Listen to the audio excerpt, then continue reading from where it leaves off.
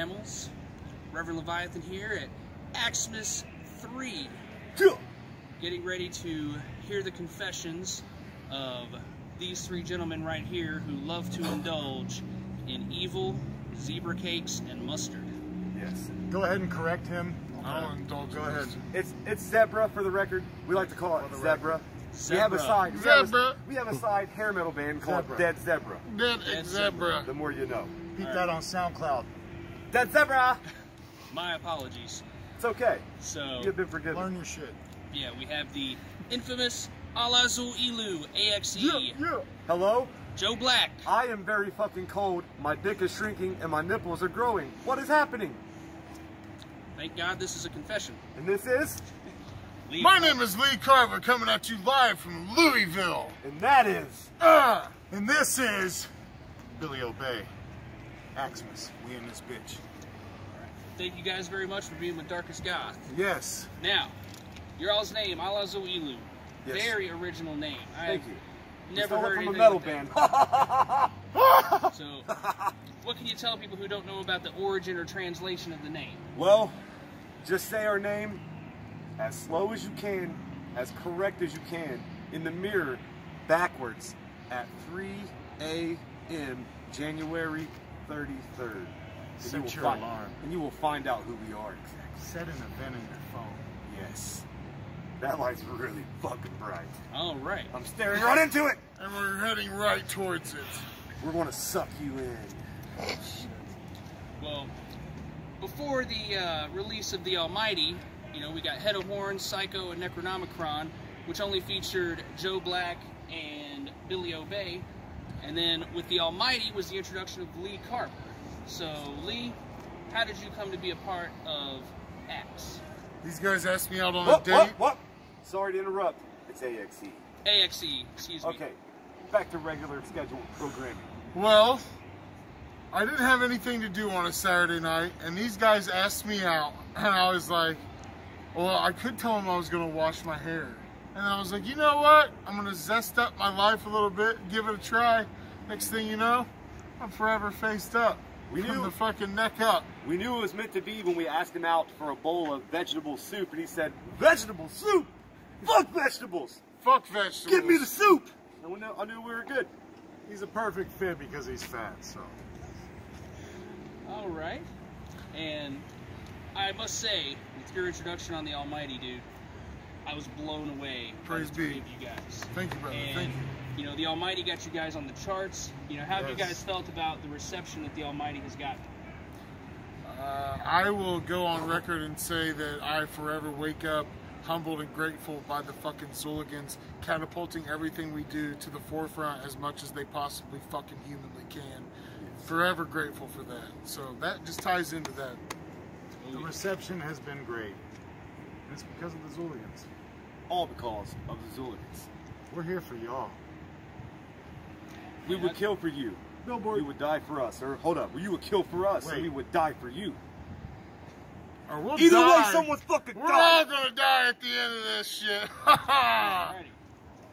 Remember that. Remember, Well, I know on the Almighty, you guys had some really awesome collaborations. I was really shocked to see you guys got Flatlinerz and ROC and like, oh my god, like those ROC are really awesome. wasn't on the record. Oh, excuse me, my apologies.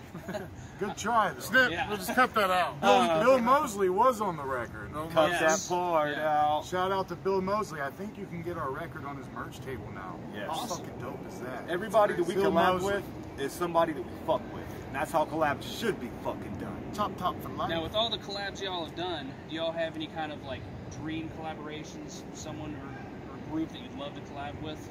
Get first on this? The Fat Boys. Cage. Cage. Michael Jackson. Michael Jackson. All I right. think I think that ship has sailed. Okay. Well, I know You you. never know. There might be something laying around, cutting room floor shit. Yeah, probably pictures of kids. I know Yo! Yo! Hey, fuck it. You might be right. Uh, No, Yeah. never that. I still love him though. I mean, fuck, it, he's king of pop.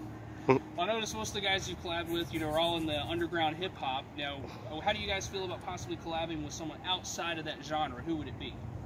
There's multiple names that come up. Jonathan come mind. Davis. Oh yeah, that would be awesome. Corey Taylor.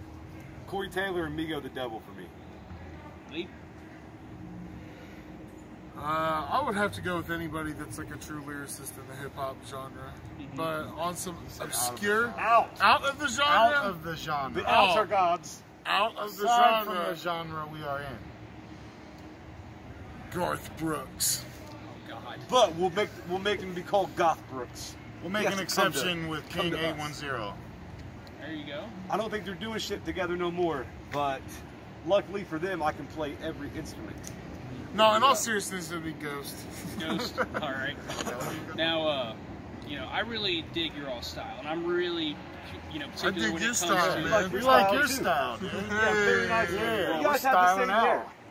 I'm very This is particular when it comes to, to hip hop, you know.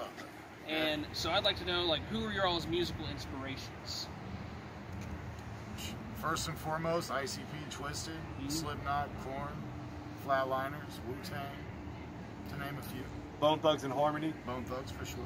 And I think that's where you get a lot of your maybe your variation in your music, because that's a Absolutely. lot of different variations in uh, artists right there. Absolutely. Yes, it is. Yeah, that's awesome. Um, now uh, I know before you were Lee Carver, dude, you were Knox. You know, you did That's some- purely speculation. Whoa. Who the fuck is that? I know Uh, Knox, and he's a cool guy. Okay. He's a very cool It's all guy. right. Uh, but what are the chances of you guys doing solo projects? But it's fucking zero for me because that's too much work. I'm You just never gonna know. keep honest. No, never know. honestly, yeah, you never know. Like, You never we're, know. our our pre, we have our workload predetermined right now. We know exactly what we're doing in 2019 and the upcoming future. But you never know. I, I mean, it's something that I want to explore still. I love doing. I love to rap, so inevitably, you know, just keep making rap songs and see what the fuck happens with them. Mm-hmm. You know what I mean? Wrap his hands around throats. Well, I know uh, on the Almighty, you know, one of my favorite tracks on there is Venomous Five, Twisted. Yeah. Word, word. And you know, uh, some of us are wondering, is the Venomous Five something that could happen as a supergroup? It could You never well know. happen. You never, know. You never know. You But, I never mean, fucking know. It's not likely that that would happen. I mean, that's dream come true shit. You know what I'm saying? Like, Right. that's like fucking busting a nut while hitting a grand slam out of the fucking park And during sneezing the, at during the the, same World time. Super Bowl series.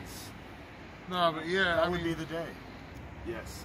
But that you answers never your know. question. You never know what the MNE fucking.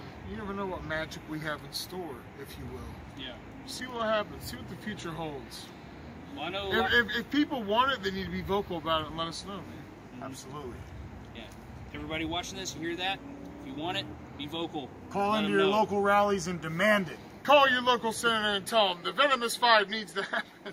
And in God McRib needs it. to be a, a fucking year-round thing. Call McDonald's too, fucking. Your holiday pie. Forever. Alrighty. And well, we'll go ahead and uh, wrap this up since it's a wee bit cold outside. Wrap but, it Uh, up. you know, my final question for you guys: What has been your all's greatest challenge? This Joe guy. I'm difficult and hard to work with. So, In Joe, unison. That's well, then, hey, they ain't lying. what has been your greatest challenge, Joe? Being me. All right. well, uh, before we wrap it up, uh, I've been asked. I've been asked to ask you, Joe, if we could uh, close this with uh, some of your dance moves. Oh, Saving it for the stage. Sorry. Saving it for the stage. Ah, yeah. Uh, I don't want to pop these buttons prematurely, if you know what I'm saying. Because when I start dancing, buttons start flying, I start getting poked out. Oh, It's like the fucking OK Corral. you at shit New your eye out, kid. For He'll real. see you in there. I'll be your Huckleberry. Boom! All right.